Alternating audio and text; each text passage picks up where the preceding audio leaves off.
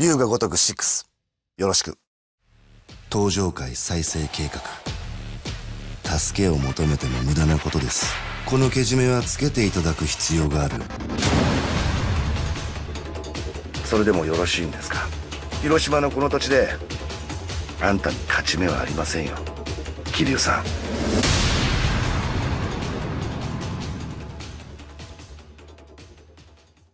皆さんこんにちは龍が如く6に岩見造船社長岩見恒夫役で出演させていただく大森直です。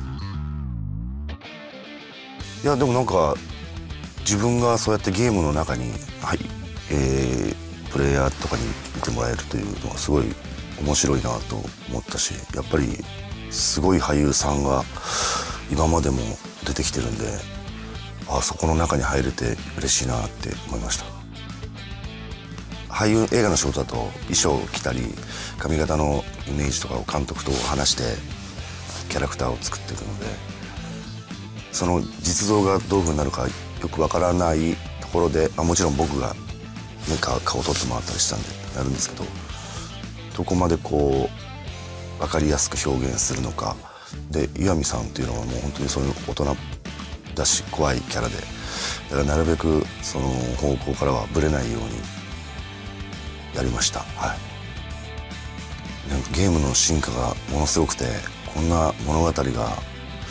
一本のこの対策超大作みたいになって見れるっていうのがずっとつながってるわけですもんね今までも全部。それがすごい面白いなとも思いましたし